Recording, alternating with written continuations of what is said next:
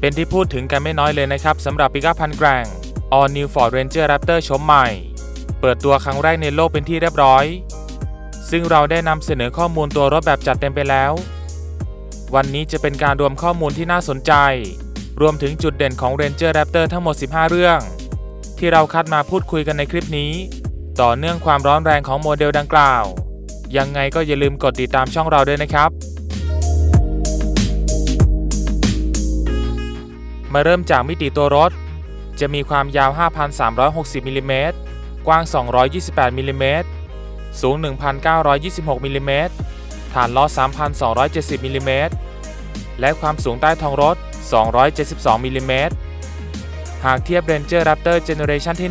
1 พบว่าตัวรถสั้นลง 38มิลลิเมตรกว้างน้อยลง 10มิลลิเมตรสูงมากขึ้น 53มิลลิเมตรระยะฐานล้อยาวขึ้น 50มิลลิเมตร และใต้ท้องรถต่ำลง 11มิลลิเมตร จุดเด่นสำคัญคือชุดช่วงล่าง ที่ได้โชคอัพจาก Fox 2.5 นิ้ว แบบ Live Valve Internal Bypass ซึ่งเป็นตัวที่ล้ำสมัยกว่ารุ่นเดิม มีเทคโนโลยีมากมายนะครับ ไม่ว่าจะเป็น Bottom Out Control ป้องกันไม่ให้โชคค้าง ช่วยชะลอการหดตัวของโชคหลัง ป้องกันการกระแทกแรงเกินไป ขณะใช้ความเร็ว ทั้งยังเป็นโช้คอัพปรับได้แบบ real-time ตลอดเวลา ทำให้สามารถเพิ่มโหมดปรับช่วงล่างทั้งหมด 3 แบบ ได้แก่ช่วงล่างโหมดปกติ โหมดออฟโรด และโหมดสปอร์ต คุมพลังเป็นอีกเรื่องที่หลายคนจับตามอง โดยในช่วงแรกของการแนะนำ จะติดตั้งเบนซิน EcoBoostขนาด 3.0 ลิตร V6 เทอร์โบคู่ ให้กำลัง 397 แรงม้าที่ 5,650 รอบต่อนาที แรงบิดให้มาทั้งหมด 500 กับ 83 นิวตันเมตร ที่ 3,500 รอบต่อนาที นอกจากความแรงมากกว่าดีเซลรุ่นเดิมแล้ว เสื้อสูบยังมีความแข็งแรงและทนทาน พร้อมระบบป้องกันการรอรอบ โดยจะรักษาการหมุนของเทอร์โบที่ความเร็วสูงค้างไว้ ต่อไปอีก 3 วินาทีหลังจากการปล่อยคันเร่ง และเมื่อมีการกดคันเร่งอีกครั้ง ไม่ว่าจะเป็นกรณีเร่งความเร็ว เร่งออกจากโค้ง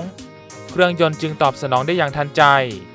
ซึ่งรวมไปถึงกรณีการเปลี่ยนเกียร์ด้วยนะครับ ส่วนในปี 2023 Ford จะเปิดตัว All New Ranger Raptor ที่ใช้ขุมพลังดีเซลบล็อกเดิม คือ 2.0 ลิตร Bi-Turbo ให้กำลัง 213 แรงม้า แรงบิด 500 นิวตันเมตร ซึ่งอาจรวมไปถึงดีเซล 3.0 ลิตร V6 ด้วยนะครับ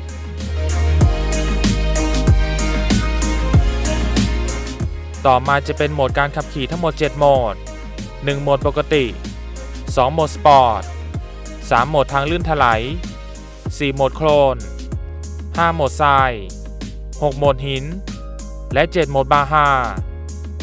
ซึ่งการเลือกใช้ในแต่ละโหมด จะมีการตอบสนองการทำงานในส่วนต่างๆของรถ ทั้งพวงมาลัย รอบเครื่องยนต์ ท่อไอเสียเป็นต้น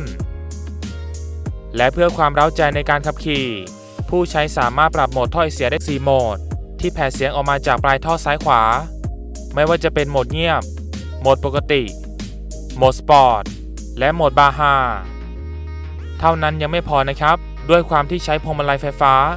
จึงปรับพวงมาลัยได้ 3 แบบ ได้แก่แบบปกติ คอมฟอร์ต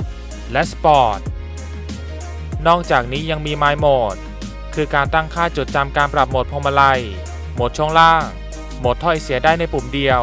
ตามที่เราเซตไว้นั่นเอง Ranger Raptor ชมใหม่ จะมาพร้อมการขับเคลื่อน4ล้อแบบ Full Time เสริมความสามารถในการขับขี่ที่หลากหลาย ซึ่งเป็นครั้งแรกในกระบะ Ford Ranger Raptor นอกจากนี้ยังมีดิฟล็อกทั้งล้อคู่หน้าและหลัง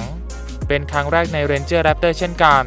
ซึ่งจะสามารถข้ามผ่านอุปสรรคได้อย่างง่ายดายมากขึ้นนั่นเอง ต่อมาจะเป็นระบบที่ถ่ายทอดจากรุ่นพี่ F150 คือ Trail Control คุมความเร็วอัตโนมัติในการขับขี่ออฟโรด ที่ความเร็วต่ำ โดยระบบจะคุมคันเร่งและการเบรก เรามีหน้าที่บังคับพวงมาลัยเท่านั้นครับ เกียร์อัตโนมัติ 10 จังหวะ สั่งการผ่านคันเกียร์ไฟฟ้า และมีเบรกมือไฟฟ้ามาให้เช่นกัน ภายในโดดเด่นกับหน้าจอสัมผัสทรงตั้งขนาดใหญ่ถึง 12 นิ้ว